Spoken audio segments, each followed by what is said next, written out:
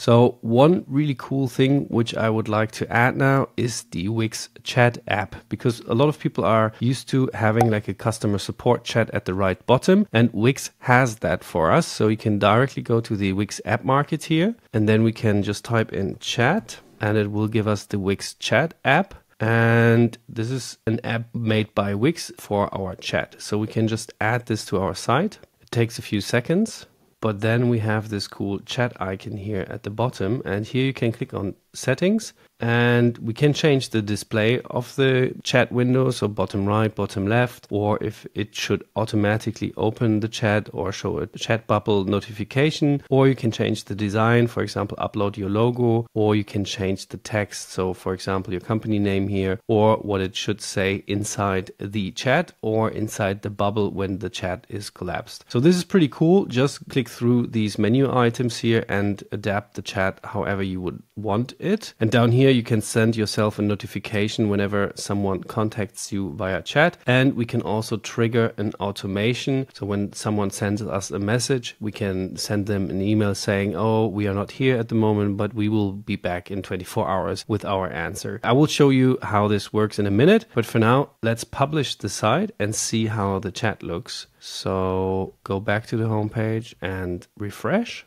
And now we have this beautiful chat window here. And it's pretty much the same as the form, but here it feels more natural and we can directly chat with a person. So I can say, hey, I have a question and I will just put chat in brackets so I can show you the difference later on. So I can just click that and then the system will automatically answer with, hey, please leave us your details because we are not here at the moment. So you can just type in your name and your email address and click submit. And then we will see where this message will land in a minute. But we want to do the same here. So I would just fill out my first name, last name, phone number, and say, hey, blah, blah, blah. And let's say this is the form. So you can see the difference later on and click send. So this is how people would contact us. And then we can go back to the Wix dashboard. And in here, you already see that we have two new messages. So I can go to the inbox and here I can see the two messages. For example, here in the chat, I have a question and this is the name I left there. I don't see the other message yet.